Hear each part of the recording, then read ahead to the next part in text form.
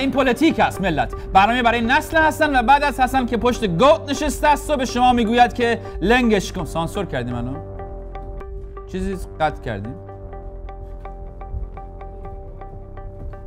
یه بار دیگه.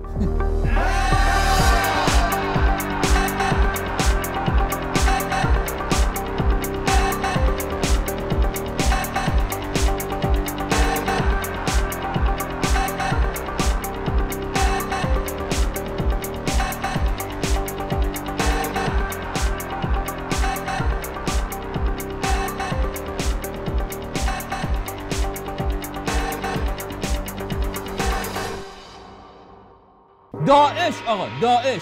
در همین یک ماه گذشته که در مجلس ایران بحث ساپورت و حجاب و روش های جلوگیری فلان اینا مسائل از این قبیل داغ بود. گروهی به نام داعش آقا داعش که معروف شدن به جنگجویان وحشت و در سوریه با دولت بشار اسد می جنگیدن اومدن چندین شهر عراق تصرف کردن بحران جدید درست کردن. در کشور همسایه ایران عراق ما همین یکی رو دیگه کم داشتیم که دیگه خلاصه داریم. در مورد این گروه 7 8 هزار نفری همین بس که آقا یارو با چاقو میوه خوری همین چی گردن می‌بره انگار سیب زمینی پوست می‌کنه یارو لامصب. بعد خودش هم فیلم می‌گیره از خودش که داره این کارو می‌کنه پخش می‌کنه این برابر اینترنت فلان حرفا. با کشتن وحشت ایجاد می‌کنه جوری که هر کی جلوشه اسلحه‌اش می‌ذاره زمین الفرار دوم اینکه القاعده القاعده برابم برابوم. القاعده ابراز انزجار کرده از این گروه. دیگه شما خود خود فکرشو کن که داستان چیه. سوم اینکه می‌خواد جنگ خودش رو سنی و شیعه اعلام کنه. و میگه ما جنگ سنی آخرم که این گروه این هفته همین هفته جوگیر شد و با حفظ سمت اعلام خلافت کرد برای مسلمانان جهان. برابم برابم. همونجا که مشاهده می‌کنید. عراق اعلام خلافت از سوی داعش تهدیدی برای همه کشورهاست خبری که اعلام شده ایشون اعلام خلافت کرده. این مسلمانان جهان بینندگان عزیز یه امام داشتن به اسم مقام معظم رهبری. بدبختیشون کم بود. یه امام مسلمان جهان داشتن. قبل از مقام معظم هم امام اصلیه بود. که ایشون هم جانشین یه آقای دیگه خودش اعلام که بچم ایشون حالا این بدبختی ما کم بود. حالا یه خلیفه هم اضافه شد. البته نه اینکه در ایران کسی ندونه این وضعیت عراق و اینها. این وضعیت عراق و اینها هم که پیش اومده مو به موی اینها رو قبلا به ما گفتن قبلا به ایشون گفته بودند. اما خلیفه مسلمین جهان نه رهبر مسلمین جهان که خودش جانشین اون یکی رهبر مسلمین جهان شد با نگاه اسلامی نگاه می‌کنیم. ما با نگاه اسلامی نگاه می‌کنیم. ما با نگاه اسلامی نگاه می‌کنیم. نگاه اسلامی برادری اتحاد همدلی و صمیمیت است. خوب. اما این گروه داعش زیاد مثل اینکه همدلی اتحاد و صمیمیت است سرش نمیشه که هیچ یه نقشه رو کرده برای دنیا که اینجوریه. خدمت شما. نقشه اول اینجوریه بعد اینجوری میشه. بعد یه سری آقای داعش نشسته خط و خطوط قرمز برای خوش کشیده. بعد دیگه سیاه کرده بقیه رو. باز این چه شعورش است؟ بله اونجا همونطور که بینندگان از مشاهده می‌کنید قسمت ایران و اینا شده خراسان. تشکر می‌کنیم. یه جزیره مون پایین دادن. خراسان همون ایران اه، برای خودشون عراق و شام اونجا در شام یعنی برای خودش تقسیم بندی کرده. شام شام می‌خوره عراق صبحونه می‌خوره اونجا حال می‌کنه خودش. کردستان کشور شده آناتول کرده برای خودش اوتول آناتول.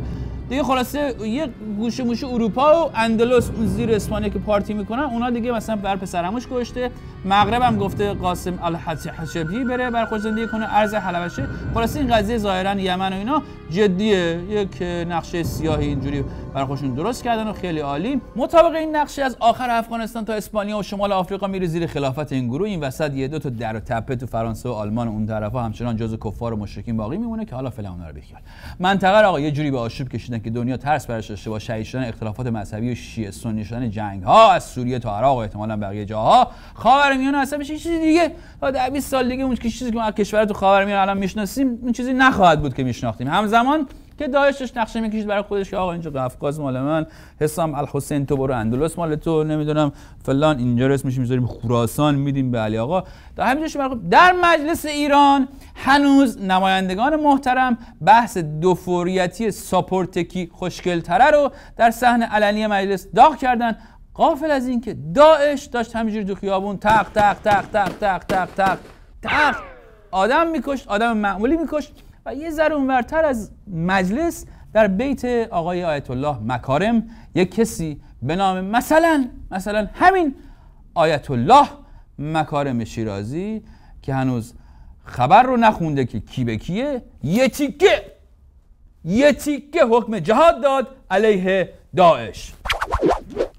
بن آیت الله العظما مکارم جهاد با داعش واجب است یا علی برو که رفتیم. انگار نه انگار که فرمان جهاد رو در حکومت اسلامی آقا و رفقا باید فقط آقا بده و بقیه رفقا اطاعت کنند.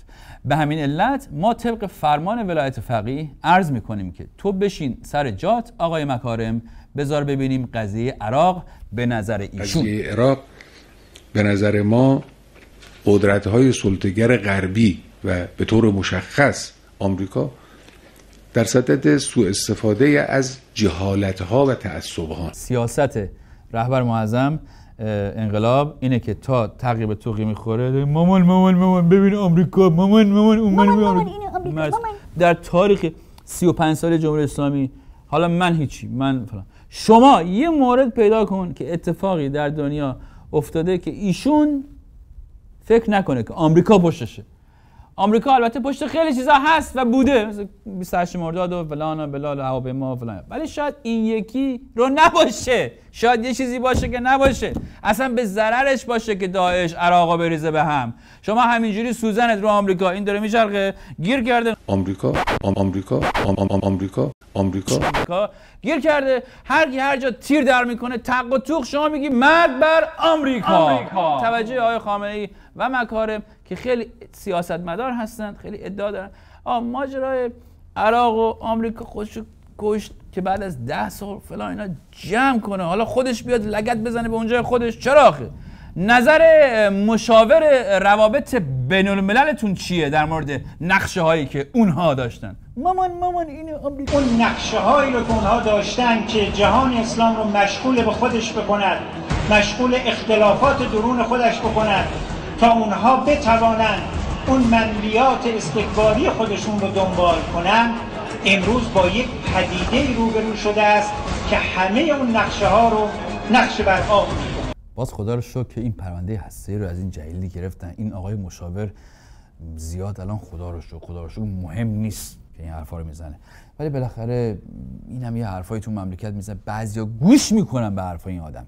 ولی حالا چرا اصلا عراق مهمه؟ سوال مهم اینه که چرا من دارم گلوی خودم پاره می‌کنم چرا اصلا عراق برای ایران مهمه عملیات ساخت صحن امام حسین علیه السلام که در سمت باب توسی حرم متحر امیر المومنین علیه السلام واقع شده است با سرعت به پیش می رود خب ما تو این موضوعات دخالت نمی کنیم دیگه چی؟ دیگه چی داریم؟ تولیت آستان مقدس حسینی اعلام کرد مراحل عملیاتی ساخت دو صحن مطهر امام حسین علیه السلام با نامهای صحن ابراهیم مجاب و صحن صاحب العصر و الزمان عجل الله تعالی فرجه الشریف به زودی آغاز خواهد شد. گفتم که وارد تولیت و اینها نمیشیم. یه چیز دیگه چی داری بذاری؟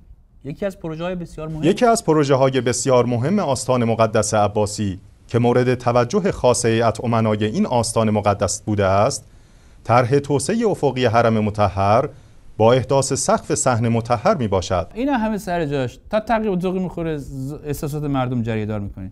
کشور عراق که فقط این مکان ها نیست که فقط شیعه ها که نیستن که. چه کمکی به مردم عراق می‌تونید بکنید؟ آی روحانی روحانی کجاست؟ روحانی کو. کمکی دولت عراق از ما بخواد این کمک رو مورد رسیدگی قرار میدیم. البته تا امروز از ما درخواست کمک خاصی نشده. کسی درخواست کمک نکرده از ایشون ولی عراقی ها خیلی تشکر کردن از این قضیه که آقای روحانی این حرفو زده. برابر. تشکر دولت عراق از پیشنهاد روحانی برای دفاع از ادبات عالیات خبرگزاری فارس. نوشتین و همونجوری که مشاهده می‌کنید به گزارش خبرگزاری فارس. معاون نخست وزیر عراق ضمن تشکر از پیشنهاد امروز رئیس جمهور کشورمان برای دفاع از ادبات عالیات از توانایی دولت عراق برای دفاع از این اماکن مقدس خبر داد. ای ملت مسلمان و غیر مسلمان ایران از اون ور یارو حکم جهاد داده. از این طرف فیلم منتشر می‌کنند. خبرگزاری فارس. فیلم منتشر می‌کنه.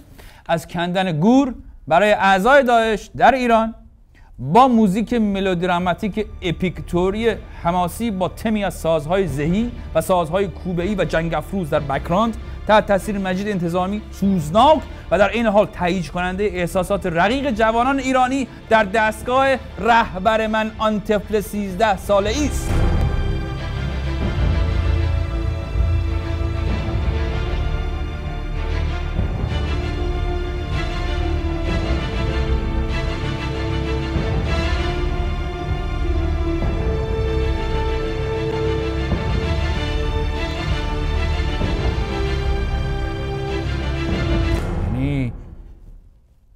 آقای داعش بفرما. اگه دوست داری بیا. با میری راستون تو. من جای داعش بودم من جای شما بودم می‌رفتم از جای که بیام به سمت شرق می‌رفتم به سمت غرب اصلا می‌رفتم اونور پناهنده می‌شدم ترکیه سازمان ملل می‌رفتم به سمت سوئد و نروژ اونورا. اصلا نمی اومدم اینور. می‌رفتم اونور.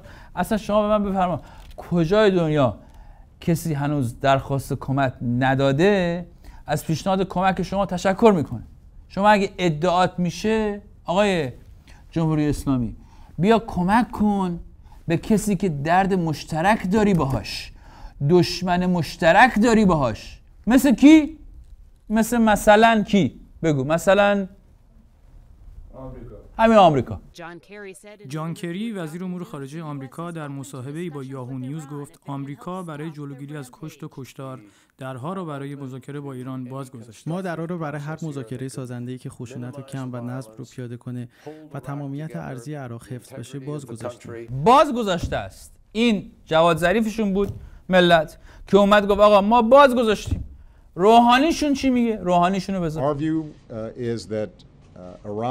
دیدگاه ما اینه که ایران می‌تونه نقش سازنده ایفا کنه.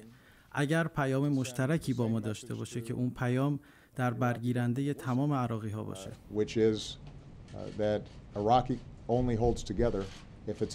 آقا خب از این دیگه بهتر از این چی می‌خوای؟ همکاری ایران و آمریکا برای برقراری ثبات در منطقه برای برقراری یه چیز خوب اینکه برای صلح در منطقه اینکه خیلی خوبه دیگه اینا همه چیز خوبه. و همکاری ایران و آمریکا برای جلوگیری از پیشرفت گروه آدمکش تق تق تقیات تق برای اونا چقدر جالب چقدر عالی چقدر چقدر انسانی چقدر خوب. ایران و آمریکا با هم در راستای یه چیز خوب کار کنن. اصلا رعفت بینندگان عزیز شنوندگان محترم رعفت اسلامی رو من تو چشمان حرفای اوباما من بود اصلا در صبح در لحنش بود. برمیگردیم به ایران جایی که ببینیم رئیس تفنگای مملکت چی میگه. فیروزآبادی همکاری ایران و آمریکا اتفاق نمیافتد؟ نمیافت سرلشکر سرلشکر فیروزآبادی رئیس ستاد نیروهای مسلح گفته که اتفاق نمیفته اتفاق نمیفته. یه کار خوبم که میشه با آمریکایی‌ها کرد اتفاق نمیفته و در اینجور مواردی که ما تنها جایی که می‌تونیم به ریسمانش چنگ بزنیم آقای روحانی ببینیم که آیا آقای روحانی اونم همکاری می‌کنه. اصلا خبر داری؟ چه خبره؟ آقای روحانی خبر داری؟ آمریکاییام ممکنه اقداماتی بخوام بکنم. من از طرح اونها بیخبرم مطلع نیستم. اما اون چه برای ما امروز مهمه خواست ملت عراق خواست دولت عراق و اگر کمکی از ما بر بیاد که به ملت عراق کمک کنیم ما آمادگی داریم. جمهوری اسلامی یه جوری درباره عراق حرف می‌زنه. آقا ملت انگار که عتبات رو چون از عراق بگیری تاش فقط این هسته ازگیل با هسته ازگیل چرا؟ ازگیل دارن اونجا خرما. هسته خرما باقی میمونه. در فلان. دیگه گوره هر کی که اونجا داره با چاقو میبخوره گردن می‌زنه مثل سیب زمینی بوز می‌کنه ملت آقا شما سر جریان هسته ای حاضر شدی بری بگردی رفقای تیله بازی بچگی های بنکیمون رو پیدا کنی که مشکلت حل شه. حتی حاضر شدی تا حالا دو دفعه با آمریکا با آمریکا بشی مذاکره کن. حالا حالا دوتا شما خبر داریم. بشینی با آمریکا یا حرف بزنی. الان آمریکایی میگه حاضریم تو مسئله عراق با ایران همکاری کنیم. شما یک چند وقت فیروز آبادی اصلا آقای خامنه ای من یه چیزی خصوصی بین خودت تشریف بیارم برای بهت بگم. تشریف بیار. آقای خامنه ای شما یه چند وقت این فیروز آبادی و جلیلی و بقیه دار دستار بفرست. این تابستون یک مسافرت چیزی. بفرست سوریه. سوریه نمی‌تونن برن. بفرست برزیل. اصلا همه رو بفرست برزیل. اماکن زیارتی برن. بقیه جام جهانی رو ببینن اونجا.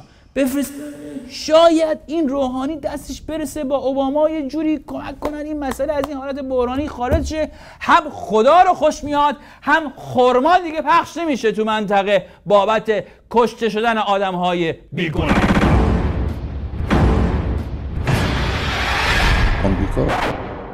مهمان این هفته شما آقای ابراهیم نووی است. آقای نووی تنزنویس و نویسنده است.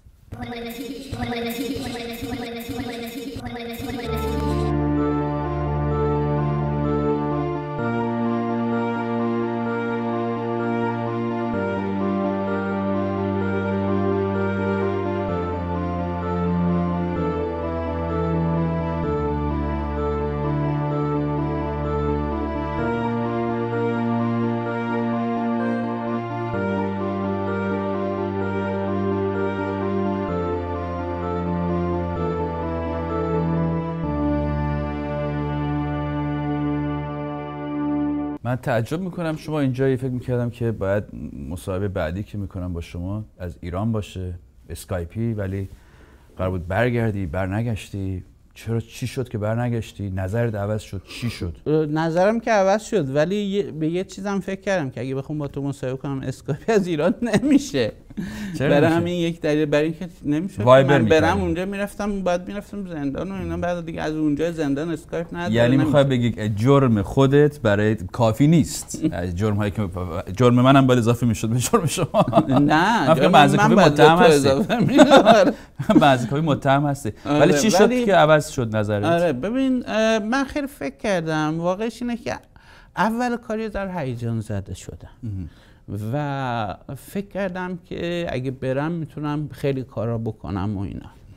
بعد انقدر برام مسئله مهم شد که فکرم رفتن خیلی مهمتر از هر چیزیه. بعد یه ذره فکر کردم بیشتر فکر کردم و یه ذرم تحمل کردم.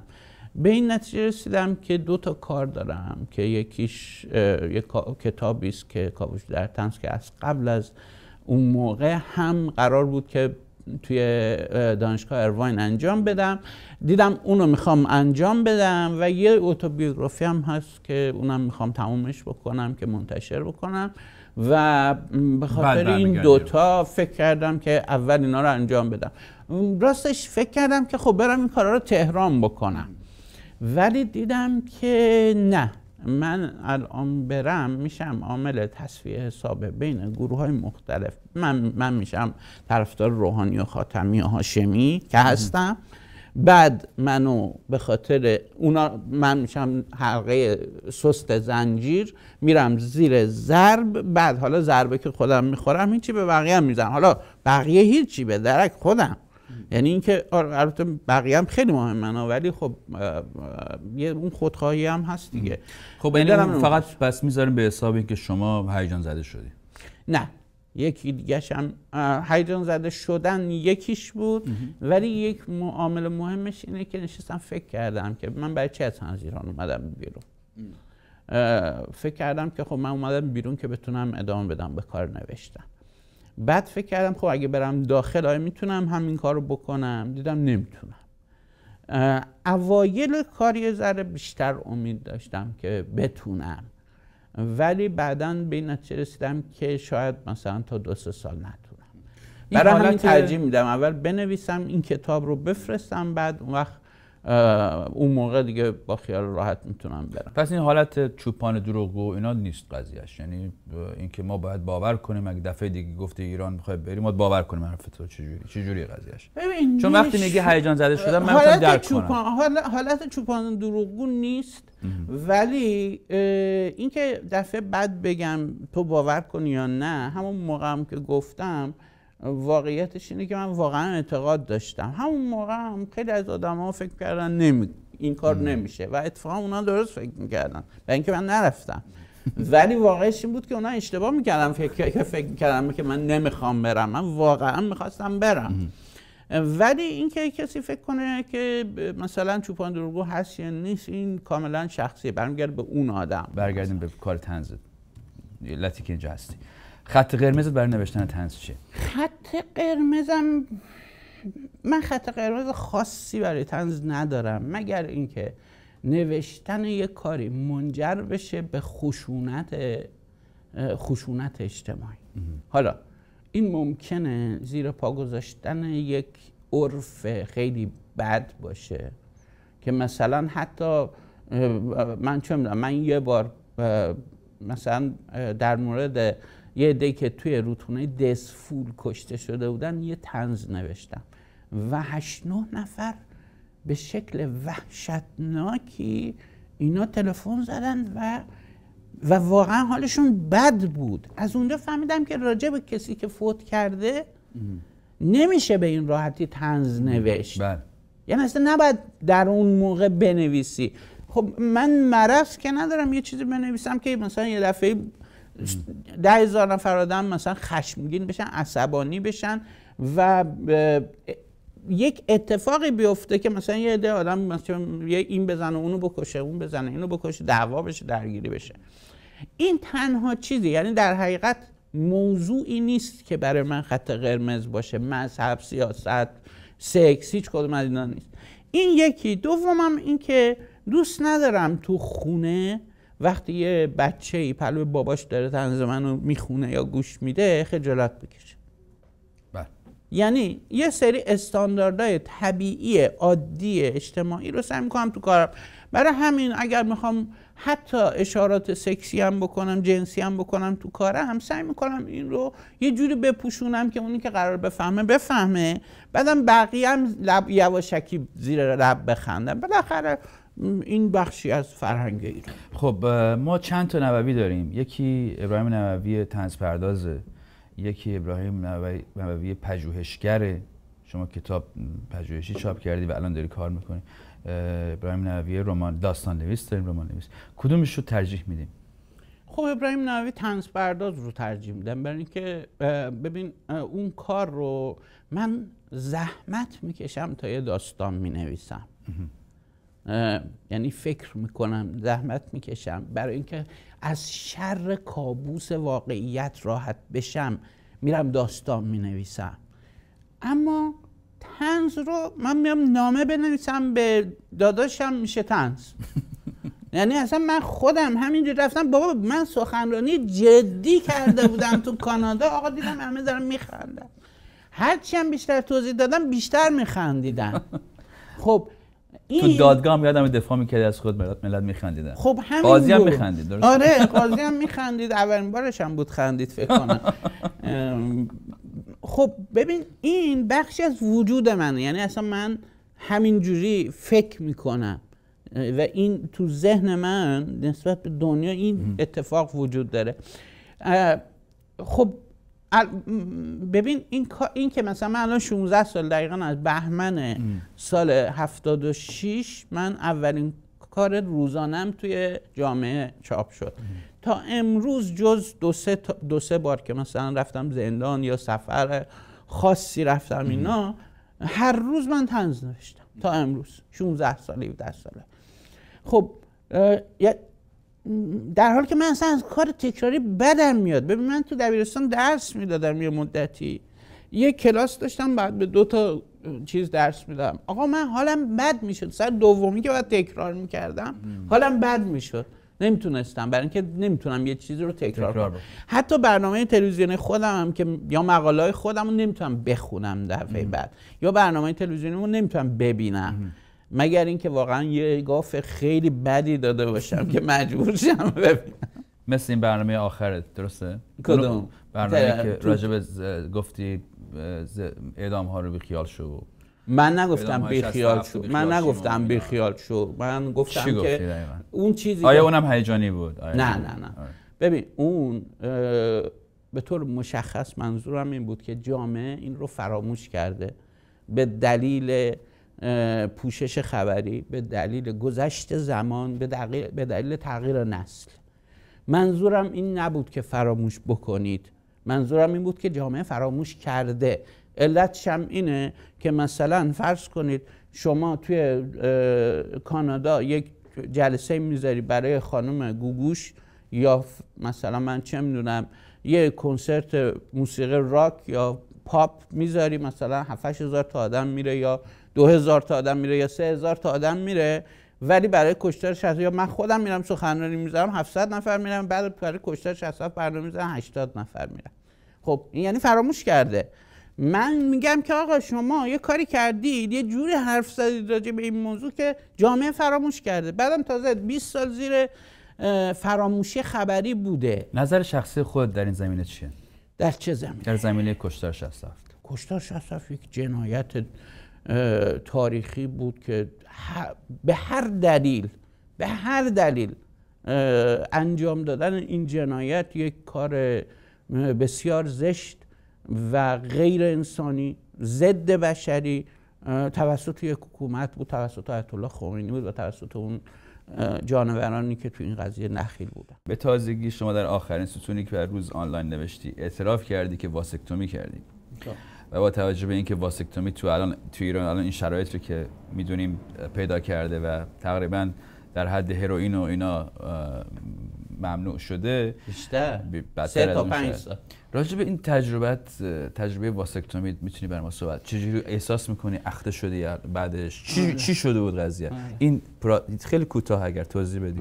ببینندگان عزیز بفرمایید. توضیح کوتاه خیلی کوتاه.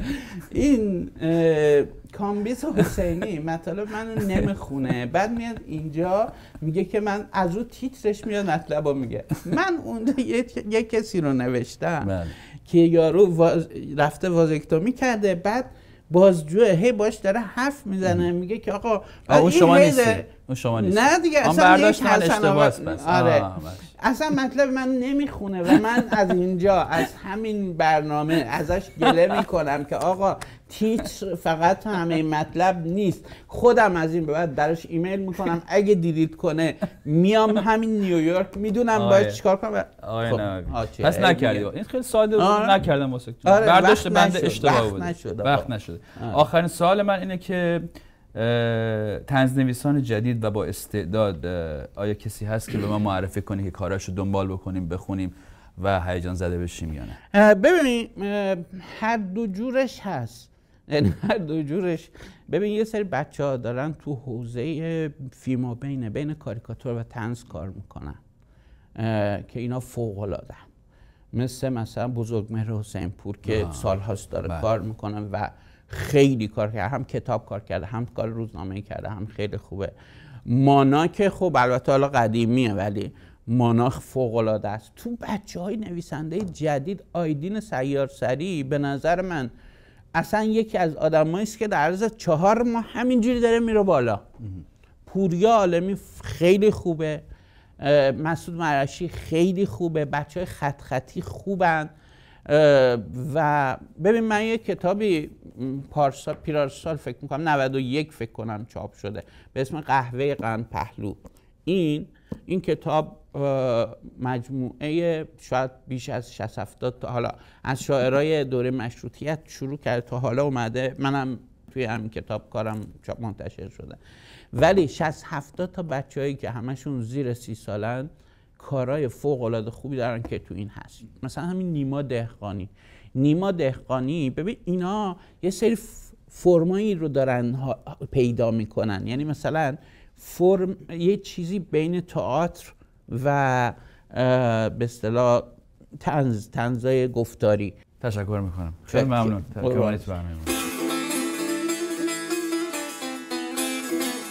این آدرس توییتر من هست. این هم آدرس فیسبوک. هر کس با هشتگ پلیتیک در توییتر چیزی بنویسه بنده جواب بهش میدم. من کامبیز حسینی هستم. شما برنامه پلیتیک رو تماشا کردید تا هفته دیگه در شب تهران. هوای بغل دستی تو آقا خانم برادر خواهر داشته باش. اگرم نداری یکی جور کن برای خودت.